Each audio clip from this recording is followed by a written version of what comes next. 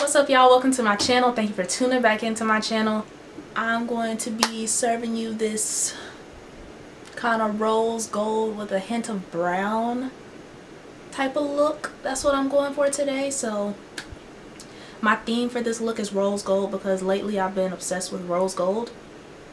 Yeah, this whole look is drugstore so it's all affordable. If you want to know if you want to know all of the products that I used, all of them will be down in the description box below as they always are in all my makeup tutorials. So if you want to know all the specifics and all the deets, all the details, hit up the description box and I'll have everything in there. If you want to follow my beauty Instagram page, it's at Makeup by Jazzmine, which is also in the description box. Just hit up the description box. Some stuff down there, some cool stuff down there. Hope you enjoyed the tutorial and yeah, I'm gonna stop talking. Alright, so to start this tutorial off, I'm going to be starting with the e.l.f. Mad for Matte eyeshadow palette and I'm going to be using this peach color and I'm going to lightly just dust that into my crease and I'm going to build it up some more that way it um, it'll build up. I'm sorry, it's midnight and I'm trying to get this recorded. but now I'm going to go into this She Matte eyeshadow palette and I'm going to be using this brown eyeshadow here at the top and I'm going to be putting that on the outer V of the eye to add a little bit of depth and a little bit um, of more deeper color. And I'm sorry if I'm kind of stumbling over my words. Like I said, it's midnight when I'm doing this voiceover. And now I'm going to go back into that mad for matte palette and I'm going to go back into that peach color and just add some more of it because I felt like I didn't have enough. And now I'm going to be wetting my brush with some makeup spray and then I'm going into this Morphe palette and using this sort of rose gold shimmer color. I've really been obsessed with the color rose gold lately. I think it's such a beautiful color. So I'm going to be applying this all over the lid.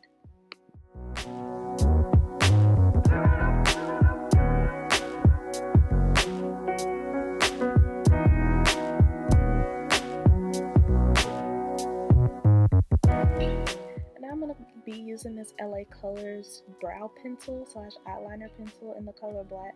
And I'm going to use that to line my waterline. And I've really been loving this. I have one in black and one in brown. And the one in brown is the one that I use to fill in my brows. So that's what I've been using lately to fill in my brows and I love it. I got it from Dollar Tree for a dollar. So check it out. but now I'm going back into this Morphe palette and I'm going to be using that kind of sandy color, that dusty sandy color, and I'm going to be putting that on the waterline as well, right under that eyeliner, just to kind of smoke it out a little bit. Then I'm going to be using this e.l.f. Expert Liquid Liner in the color black, I believe. and then I'm just going to line my lash line. I'm not going to do a wing. I know I always do wings, but no wing today. I'm just doing this that way. It'll make my lashes look a little bit fuller. And now I'm going to be using this eyelash curler. Eyelash curler. Jesus. Eyelash curler from e.l.f. Cosmetics. And I'm just going to use this to curl my lashes. And then I'm going to go in with the Too Faced Better Than Sex mascara. Recently been using this and I love it. It gives a lot of definition to the lashes, so I'm going to be going in and applying this to my lashes.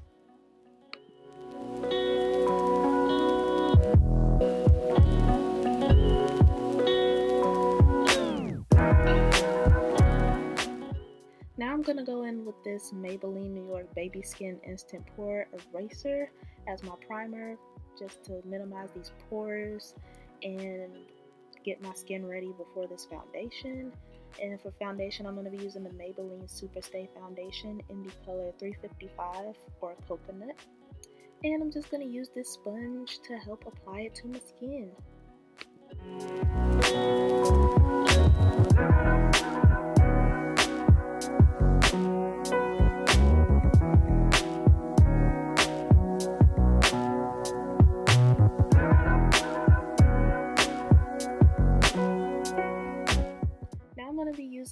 CoverGirl Queen Collection Pressed Powder right here in the color, there we go, in the color Medium Deep. And I'm going to be using this to set my foundation.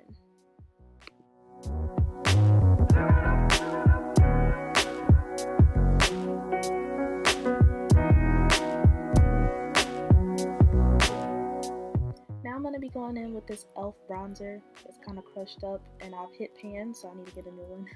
But this is in the color Deep, and so I'm to apply this on my face. And I don't contour, but I've been bronzing a lot lately. So I use this to help bring a lot of color and warmness and definition back into my face. And then I'm to go in with this Wet n Wild Photo Focus Concealer in the color Dark Cocoa. And I'm to use this to highlight my face. This isn't too much brighter than my face. Um, it's pretty close to my skin tone almost. It's maybe like a shade or two lighter. So I wanted to keep it kind of natural with the highlight today. And then I'm going to go in with this NYX Set It and Don't Fret It uh, matte finishing powder in the color medium dark. There we go. In the color medium dark. And then I'm going to kind of cut out my bronzer and like define it a little bit more. And then I'm going to use that same powder. Nope, not yet, Jazzmine. then I'm going to use a sponge to blend out the concealer. And then I'm going to use this brush to apply a little bit of that powder. That way it doesn't crease and it'll be nice and set. I'm sorry, I hope I'm making sense. I'm I'm trying to make sense. But then I'm going to go back into that pressed powder and I'm going to use that to get rid of that extra powder. That way it doesn't look too dusty. And then I'm going to also use this MAC Fix Plus and spray it on my face so I also don't look too dusty. You don't want to look dusty because that's just not cute. You don't want to look dusty. And then I'm going to go in with this Makeup Revolution highlighter and I've been loving this. This highlight is intense. You'll see here in a second. But this is in the color Liquid Bronze Gold and it's very intense as you can see. So a little bit goes a long way. So I had to add a little bit and blend it out and then add some more until I got what I wanted.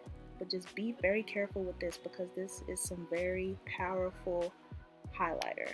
So yeah, and they have it in six colors, I believe, six different colors. So definitely check it out. It's drugstore, so it's definitely affordable. And then I'm going to go in with this Shine Control Lasting Makeup Mist in the color no, not in the color. I think this is from Rude Cosmetics. I've never heard of it. I got this at my beauty supply.